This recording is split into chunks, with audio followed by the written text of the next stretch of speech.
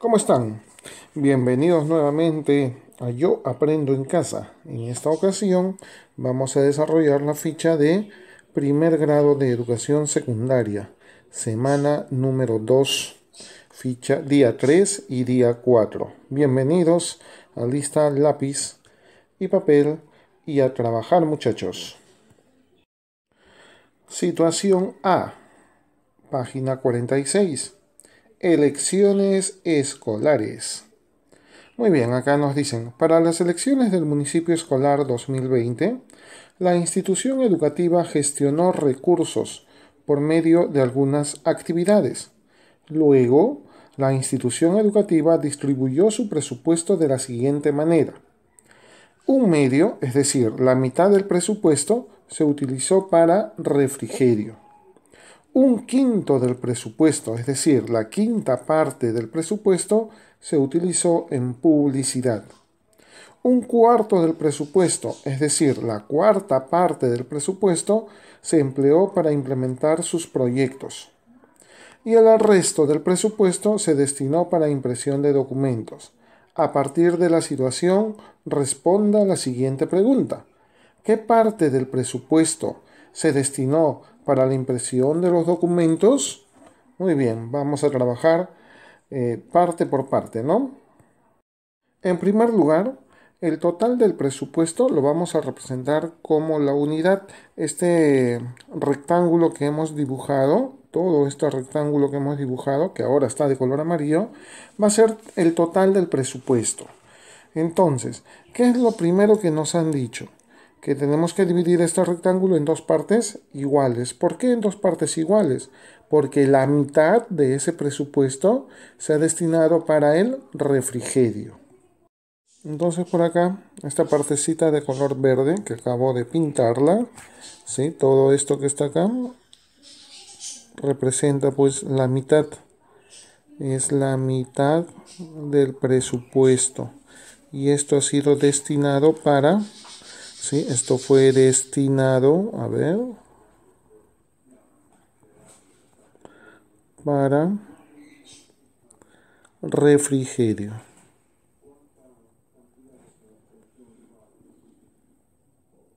Listo muchachos, continuemos.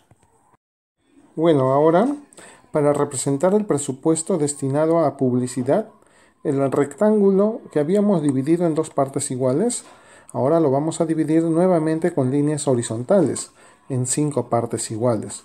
Entonces todo va a quedar dividido en 10 partes iguales como se muestra en la siguiente figura. Entonces acá podemos observar que esta primera parte que estaba está de color verde, ¿no? Ahora como cada sector ha quedado dividido en un décimo, pues tenemos 1, 2, 3, 4, 5. Tenemos 5 décimos. Pero tú sabes que la quinta de 5 es 1 y la quinta de 10 es 2. Ah, nuevamente es la mitad. Y acuérdate que esto estaba destinado al refrigerio. ¿Estamos de acuerdo? Y eso ya lo habíamos visto anteriormente.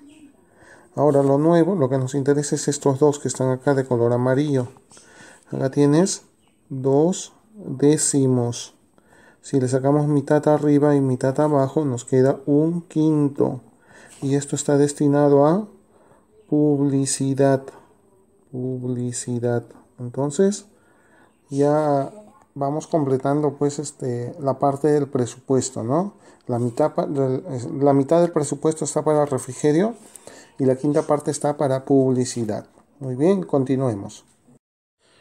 Para representar el presupuesto destinado a implementar proyectos Dividimos el rectángulo nuevamente con líneas verticales, ahora en cuatro partes iguales. Así, el rectángulo quedará dividido en 20 partes iguales, donde cada parte representa un veinteavo. 5 de estas partes, es decir, 5 sobre 20, equivale a un cuarto, ya que quinta de 5 es 1 y quinta de 20 es 4, y se encuentra sombreado en color celeste. Entonces recordemos lo siguiente, jóvenes. Mira tú, esta primera parte que va de color verde, esto que está acá, ahora es 2, 4, 6, 10, ¿no? Que es 10 sobre 20. y si tú le quitas un cerito arriba y un cerito abajo queda, ¿no? Simplificando queda un medio. Acuérdate que esto estaba destinado para refrigerio. Refrigerio. Ahora, lo que ves acá de color eh, amarillo, esto que está acá, son 4 de 20, ¿no? 4 de 20. Simplificando, esto va a quedar 1 de 5, un quinto. Esto está destinado a publicidad, acuérdate. Esto está para publicidad. Listo, hasta ahí ya habíamos trabajado. Ahora, esta última parte que está de color celeste, que son 5 de 20, ¿sí o no? 5 pintaditos de los 20 en total que hay. Simplificándolo es un cuarto. La cuarta parte está destinado a proyectos. Esto está destinado a proyectos. Entonces, lo que nos está sobrando, a ver por acá, vamos a pintarlo, un color diferente. Eh, sí, podría ser un rojito, ¿no? Esto que nos está sobrando está destinado eh, a impresiones, ¿no? Por lo tanto, la respuesta a la pregunta final, por lo tanto, decimos un veinteavo del presupuesto está destinado para las impresiones. Impresiones. Y con eso damos respuesta pues a nuestra actividad significativa.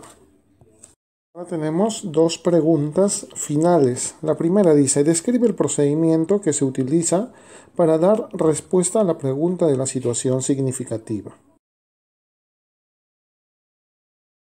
Entonces, se representa gráficamente la unidad como un todo. Eso fue lo primero que hicimos, ¿cierto? Muy bien, eso fue lo primero que hicimos.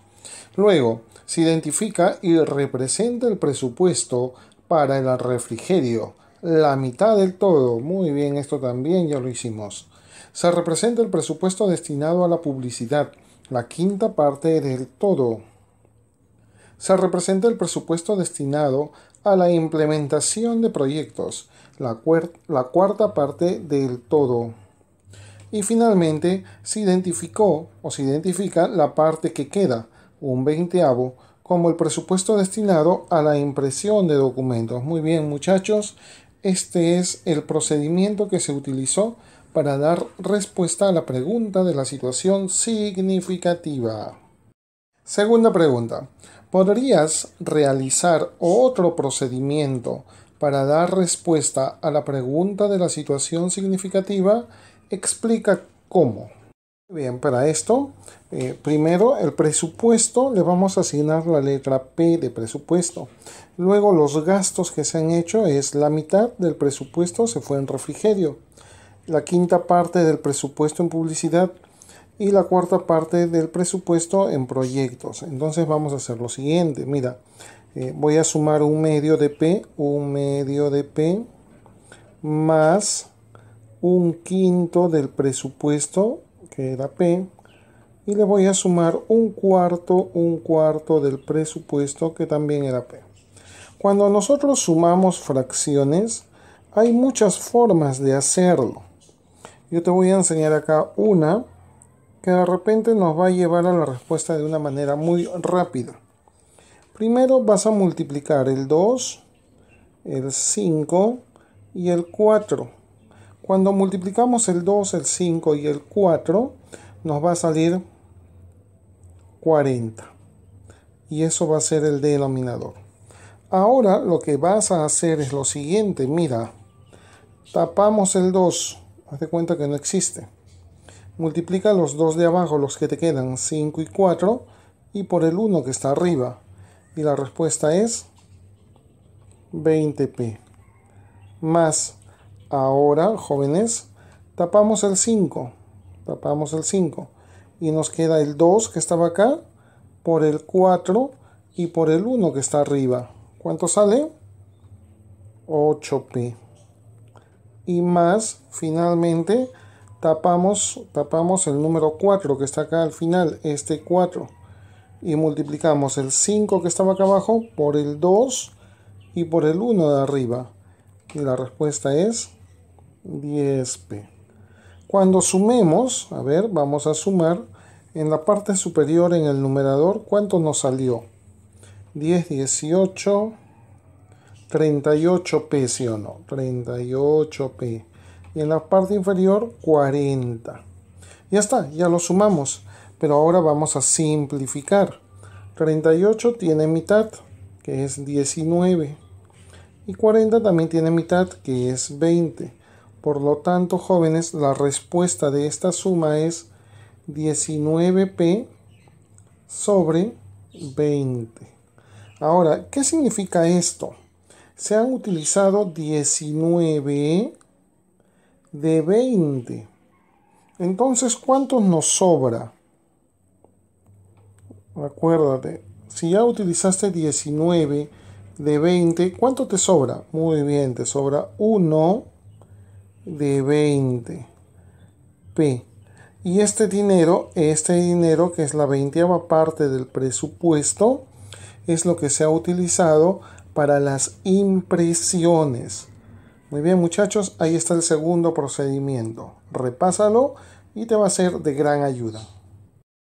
Muy bien jóvenes, ahora nos preparamos para trabajar el día número 4 en las fichas de desarrollo de Yo Aprendo en Casa. Acuérdate que estamos desarrollando las fichas de primer grado de educación secundaria. Muy bien jóvenes, me puedes buscar en el canal de YouTube como Alexander Giovanni Tarazona Ponce, donde encontrarás el material de Yo Aprendo en Casa de primero a quinto grado de educación secundaria. Te espero, no te olvides de darle clic a la campanita y a suscribirse. Nos vemos muchachos, sigan estudiando. Situación número 1. A pensar. ¿En qué situaciones de la vida diaria podría ayudarte las fracciones y sus operaciones? Muy bien, como tú puedes observar ahora el gráfico, por acá, por acá tenemos a una señora que está cocinando. Muy bien, eh, las fracciones, ¿dónde nos ayudan? Cuando tenemos una receta de cocina, por ejemplo. Vamos a utilizar, vamos a utilizar un cuarto de kilo de arroz. Vamos a utilizar eh, un octavo de aceite en la cocina, entonces. También, mira tú, mira acá, ¿qué tenemos acá? Tenemos el tiempo. ¿Qué hora es en estos momentos? Un cuarto para las 11 de la mañana. Ah, mira, ahí utilizamos fracciones. Por aquí, por aquí, por aquí, ¿qué observamos? Frutas, ¿no? Las frutas. Señora, por favor, tres cuartos de uva. Ahí hay fracciones, ¿ve? Por acá, por acá, ¿qué utilizamos? Utilizamos, acá danzas, ¿no? Acá danzas. El tiempo de la danza es de un cuarto de hora. Ah, hay, fracciones también en la danza. Por acá que tenemos, tenemos un queque. Si ese queque está dividido en cuatro partes iguales y a mí me corresponde uno, un cuarto de ese queque, ah, muy bien, ahí utilizamos fracciones, dependiendo en cuántas partes se vaya a seccionar el queque, pues, ¿no?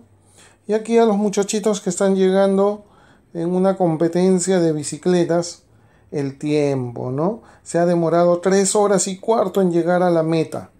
Entonces, como podemos ver, las fracciones están presentes en todas las situaciones de la vida diaria. Te invito a que tú completes con otras, con otros ejemplos sobre las fracciones. Situación número 2. Comiendo torta. Una torta fue dividida en porciones iguales. Si comes algunas porciones, podrías saber qué parte de la torta comiste. Explica cómo. Muy bien muchachos, acá tenemos una fotito de una torta, la cual ha sido dividida en, al parecer, ocho partes iguales. A ver, lo vamos a ver mejor en el siguiente gráfico. Como puedes observar, aquí tenemos la torta entera, acá está. Luego se le hace un corte por la mitad, quedando dividida en dos partes iguales, por eso un medio, un medio. Luego hacemos un corte horizontal, quedando la torta dividida en cuatro partes iguales. Y finalmente hacemos un corte en las dos diagonales. Y esto normalmente es así como se hace el corte de la torta. Ahora imagínate tú. Imagínate que tú te has comido pues uno, y dos porciones de la torta, solamente dos. Entonces, ¿cuánto te has comido? Hemos comido, en este caso, hemos comido, ¿sí? Dos octavos de la torta. Pero simplificando, mitad 1, mitad 4, ¿sí o no? Simplificando nos va a quedar un cuarto de la torta. Entonces yo he comido un cuarto de la torta. Entonces, ¿podría saber qué parte de la torta comiste? Sí. Y la explicación, bueno, es el desarrollo de este ejercicio. Muy bien, muchachos. Ojalá lo hayas entendido. ¿Ves qué fácil es? Situación número 3. Un bidón de agua contenía ayer 4 quintos de su capacidad. El día de hoy se ha consumido un tercio del agua que contenía ayer. ¿Qué fracción de la capacidad del recipiente se ha consumido hasta ahora? Muy bien, como puedes observar ahora en el gráfico, eh, ayer, dice, ayer contenía 4 quintos de su capacidad. Entonces mira tú, eh, acá hay 1, 2, 3, 4 quintos de su capacidad, es el contenido de agua que había ayer. ¿Eso qué cosa quiere decir? Que esto que está acá en la parte superior, esto se ha consumido, se ha tomado. ¿Estamos bien hasta ahí? Eso ya ha sido un consumo, ¿de acuerdo? Entonces ahora, como se va a consumir un tercio del agua que contenía ayer, vamos a dividir esta figura en tres partes iguales de manera vertical, de la siguiente manera. Ahora solamente se ha pintado de color amarillo esta parte, ¿no? 1, 2, 3, 4, ¿sí? ¿Por qué? Porque solamente se ha consumido un tercio de lo, del agua que había ayer, o sea, de, de todo esto que estaba acá. ¿De acuerdo? Entonces, lo blanco más lo amarillo es lo que se ha consumido en total. Y eso es lo que nos pregunta, ¿no? ¿Cuánto se ha consumido hasta ahora en total? Entonces diremos 1, 2, 3, 4, 5, 6, 7. Se ha consumido, se ha consumido 7 quinceavos del agua en total. Esa sería la respuesta, muchachos. 7 quinceavos. Presente en la clase de matemática. En la clase de matemática, la cantidad de los estudiantes presentes triplican a la cantidad de los estudiantes ausentes. ¿Qué fracción de la cantidad de los estudiantes estuvieron ausentes? Muy bien, para darle solución, vamos a enfocarnos primero en esto, ¿no? Dice la cantidad de los estudiantes presentes triplican a la cantidad de los estudiantes ausentes. Entonces por acá, estudiantes, estudiantes ausentes, ausentes. Vamos a llamarle X. Entonces, ¿cuántos estudiantes, estudiantes estuvieron presentes? Presentes. El triple, ¿sí o no? 3X. Con esos jóvenes también podemos tener cuánto es el total de estudiantes. El total de estudiantes es excelente, 4x. Ahora, ¿qué nos preguntan? ¿Qué fracción de la cantidad de los estudiantes estuvieron ausentes? Por lo tanto, los ausentes son x, ¿sí o no? x. ¿De cuántos? De 4 x. ¿Qué sucede con la variable x? Arribita y abajito se simplifican. Pero eso no quiere decir que no quede nadie acá. Acuérdate que siempre queda la unidad. Por lo tanto, por lo tanto, la respuesta es un cuarto. Esta sería la respuesta, muchachos. Un cuarto. Situación número 5. ¿Cuánto le falta a dos quintos para ser igual a la diferencia de tres cuartos y un sexto? Muy bien, veamos la siguiente solución. A ver. Solución. La pregunta es, ¿cuánto le falta? Ah, ya. X. Más 2 quintos. ¿A qué va a ser igual? Para ser igual a la diferencia. Ah, ya. 3 cuartos menos un sexto. ¿Estamos bien? ¿Estamos de acuerdo? Entonces, la, siguiente recomendación, ¿no? Acuérdate que acá va el numerito 1.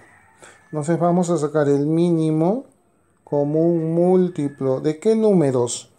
De 5, bueno, de 1, de 5, de 4 y de 6. A ver, veamos qué va a suceder. ¿Tienen mitad? Sí. Bueno, el 5 no, pero él sí tiene 2 y él es 3. Nuevamente mitad, él seguirá siendo 5, él seguirá siendo, ahora la mitad de 2 es 1 y él es 3. Ahora le sacamos tercia, 1, 1 y él seguirá siendo 5. Y finalmente quinta, y todos llegan a ser 1. Entonces el mínimo es 2 por 2, 4. 4 por 3, 12. Y 12 por 5, 60. ¿Qué vamos a hacer, jóvenes? Vamos a hacer lo siguiente. Mira, mira este truco. Vamos a multiplicar acá por 60 y abajo también por 60. Ahora, ¿cómo hago que este 5 se convierta en 60? Muy bien, por 12 por 12. El 4, ¿cómo se convierte en 60? Por 15 por 15. Y el 6, ¿cómo se convierte en 60? En 60 por 10 y por 10. Entonces la expresión nos va a quedar de la siguiente manera. Mira tú, nos va a quedar así, 60 por x más 24 y todo esto sobre 60, ¿no? Dado que ellos ya son homogéneos. ¿A qué es igual? 3 por 15 es 45. 45 menos 10 y todo esto también sobre 60. ¿Qué va a pasar con los denominadores? Los denominadores al ser iguales, mira, este denominador va a pasar multiplicando acá arriba, ¿sí o no? Y al estar acá arriba, se va a cancelar con él. Entonces los denominadores simplemente se cancelan. Entonces por acá nos va a quedar así de nuevo, 60x más 24 es igual a 35. Este numerito más 24 que estaba sumando, ¿cómo pasa? Restando, ¿sí o no? Entonces te va a quedar 60x es igual a 35 menos 24. 60 por x es igual a 11, ¿no es cierto? 5, 35. Por lo tanto, x vale 11 sobre 60. Y esa sería la respuesta. ¿Cuánto le falta a 2 quintos? Para ser igual a la diferencia de 3 cuartos y un sexto, le falta 11 60 avos. Muy bien muchachos y con esto llegamos al final de esta clase. Eh, si te gustaron los videos, si te gustó la explicación, te invito a que te suscribas a mi canal. Alexander Giovanni Tarazona Ponce. Así me buscas en YouTube, le das clic a suscribirse y a la campanita. Hasta la próxima muchachos.